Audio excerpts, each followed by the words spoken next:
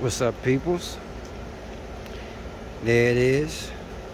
My modified AMG.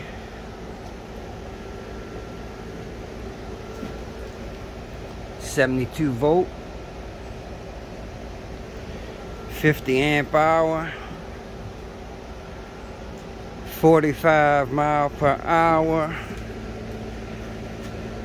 DIY modified Rhino. Now, it's about 95% finished. For one, I got some vinyl wrap coming from my top tank. I'm gonna wrap some vinyl around that. And that's gonna make it look a whole lot better. But for now, it's doing what it needs to do.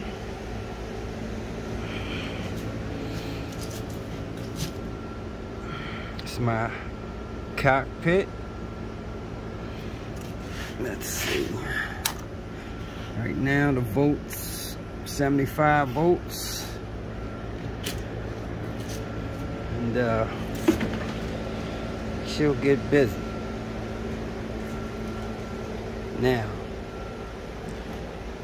it will probably run about 55 if I had the same setup on some 26 inch or 29 inch tires but because of these 20 inch rims takes a whole lot more RPMs to uh, get it up to 60 not only that right now I have my current limited at 50 amps. So with 50 amps I'm only getting around 3.5 kilowatts. So 45 miles per hour at 3.5 kilowatts is not too bad. Not only that, I like the range right now under those circumstances 50 amps and uh, I'm just guesstimating possibly about 50 phase amps as well is getting me about a 125 mile range throttle only. So that is a beautiful thing. I'm pretty sure when I max it out to about 150 amps, I'm pretty sure I'll see 60, 55, 60, but uh, probably won't have any range. So anyway, I'm gonna leave it at that because uh, 45 miles per hour keeps me up with just about any local traffic. I'm not getting on the highway, so I don't need to go any faster than that right now. Now, if somebody wants to race or do something like that, I will dive into the settings and jack it up to about 150 amps and make it do what it do.